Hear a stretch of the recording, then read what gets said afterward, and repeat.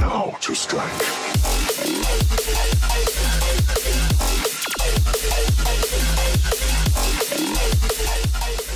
Review Bros back with another one today, and we have RX Labs Black Series Oxy pre workout, a DMAA special. So let's see um, if it lives up to that name, shall we? So we're going to be covering the usual taste, price, label, and effects, so stay tuned.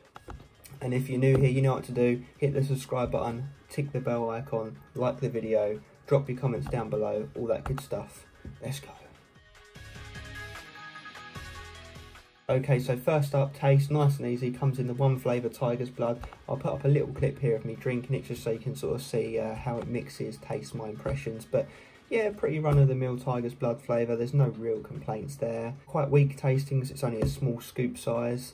Mixability wasn't the best, it was a bit of a bit of gravelly bits and pieces at the bottom, but you know, I've seen worse. Give it a bit of a stir and neck it, it's no real problem. I'll probably give it 7 out of 10. You know, it wasn't offensive tasting, it just wasn't fantastic either. It was just okay. You know, it was reasonably pleasant. 7 out of 10 on taste.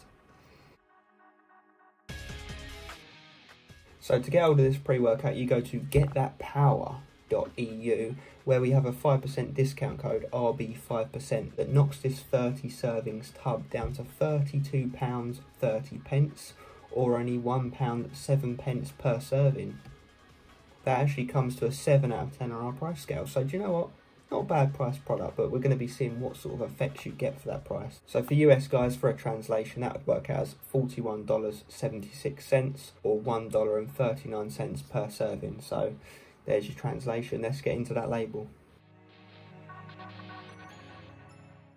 Right, label time. It's a 10 gram serving. Two scoops gets you to 10 grams. The active ingredients is just over six and a half grams. So obviously the other three and a half is just flavourings and all the fillers and whatnot. So in the proprietary blend, yes, it is a prop blend, unfortunately, guys. So we do not know the exact dosages of every ingredient. So, you know, we're not a fan of that. I'll get that out of the way right off the bat, but we'll work with what we got. So first up is beta alanine. So we would assume that's the highest dosed ingredient in this blend. Obviously with that blend only being six and a half grams, we probably would assume that there's going to be some degree of underdosing.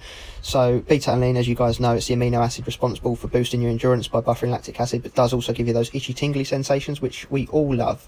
Then we've got citrulline, pure citrulline in there. Obviously that's the amino acid that boosts nitric oxide levels in the bloodstream, leading to increased blood flow and pumps. Then we've got N-acetyl tyrosine, which is the amino acid boosting cognitive function, you know, concentration, memory, coordination, all that good stuff. Then we've got choline bitartrate. It's going to do a similar thing to the tyrosine, but by different pathways.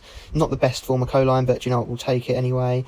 Then we've got caffeine anhydrous, spelled incorrectly on the tub, but um, that's your main stimulant in any pre-workout. It's going to give you a kick up the bum and get you moving. Obviously, we don't know how much is in here, so that's a bit of a pain.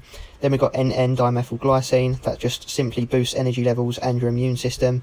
Uh, then we move on to the ingredient that you're all interested in and probably why you're even watching this review, and that's 1,3-DMAA. Obviously, that's the illicit ingredient that's banned nowadays. Super potent, you know, uh, relatable to amphetamines. It's going to get you woke, get you in the zone, and definitely you will feel it.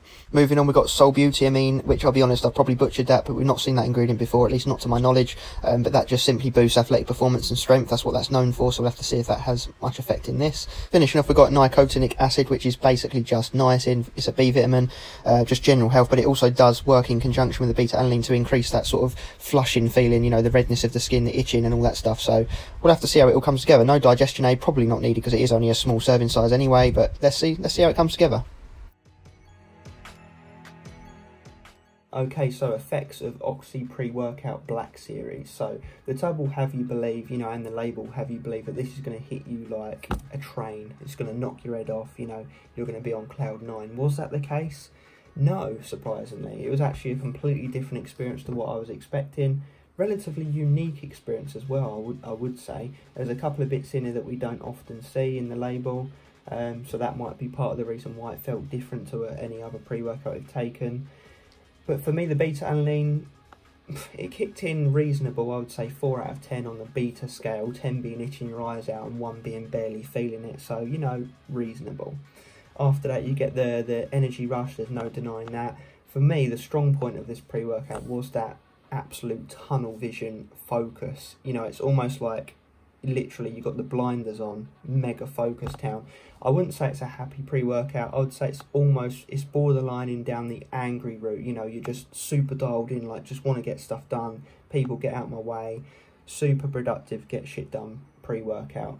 Um, steady energy. You know, I didn't feel jittery, shaky, or sick or anything like that. I just felt super channeled into my workout. Um, the pumps, you know, all you've got in here is citrulline, so you know you're not going to be writing home about pumps by any means at all with this pre-workout. However, what I will say, because the focus element is such the standout feature of this product, that almost does kind of play into the pumps in the sense of the mind-muscle connection and training hard. So if I was to rate the actual pumps on this pre-workout alone, I would say they're below average, but taking everything else into account, I would say that the pumps end up average or maybe just above in terms of real world effects once you're training. So there's no real negative, as I, as I mentioned, you know, none of the jitters, shakes, dribbles, no appetite suppression, um, no crash, surprisingly. You know, it lasted a good few hours and then come down slowly and left your system, but it definitely didn't leave you feeling crashy, which is always surprising on this kind on these kind of labels. Um, so yeah, if I was to rate it, I would say focus, energy, pumps, Overall, I'm going to go with a 7.5 out of 10 for this pre-workout. It definitely didn't hit as hard as I was expecting. You know, I've used it a few times and it's performed the same every time, so at least it's consistent in that sense. But I'd say this is for people who don't mind proprietary blends, don't mind illicit ingredients, but value that sort of in the zone tunnel vision. Don't listen to anything else going on around you, sort of focus. That really does um, describe how this pre-workout makes you feel. So focus is very much a strong factor of this. So who is this for? Quite obviously it's not for beginners, you know, steer clear, don't even look at it. Um, intermediates, you know, if you want to start dabbling with these more illicit um, sort of pre-workouts, then go for it. You know, it's not a bad one. The money is the value for money is reasonable. It's not ripping you off. Seven out of ten on the price scale for the effects is justifiable. I think, in my opinion, if you do value the effects that I've described for this product. Um, Stim Junkies, interestingly, not necessarily. You know, I wouldn't say that it puts you in Stim Junkie land. It's a productive high stim pre workout. You know, it makes you just, like I keep mentioning, it puts you in the zone for hardcore training, um, for not for not being distracted easily and it's one of those ones where you, you're enjoying listening to music and you know you're jamming whilst you're training you're enjoying it so I think that pretty much covers this pre-workout guys. So if you like the sound of it, definitely check it out. Beginners steer clear. That's all I can say. So final verdict. So first up we had the taste. We gave that a 7 out of 10. Come in one flavour. It would be ideal if there were more flavours, but you know what, Tiger's Blood is never a bad one. So doable taste, no problems there. Moving on to price, that also got a 7 out of 10 on our price scale decently priced pre-workout as pre-workouts go these days but then again you've got to remember you're not getting too much in the label so is it fantastic value for money against the label?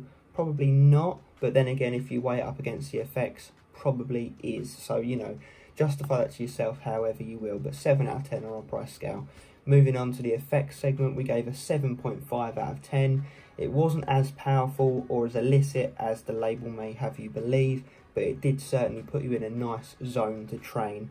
Um, and overall, I enjoyed using this pre workout, so it's not a bad product by any stretch of the imagination in terms of real world effects. That actually gives us a 21.5 out of 30 overall score.